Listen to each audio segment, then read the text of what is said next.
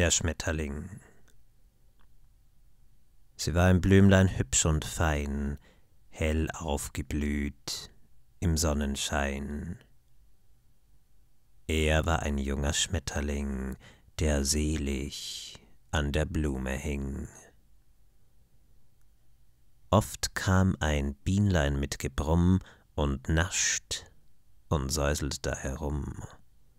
Oft krauch ein Käfer krippelkrapp am hübschen Blümlein auf und ab.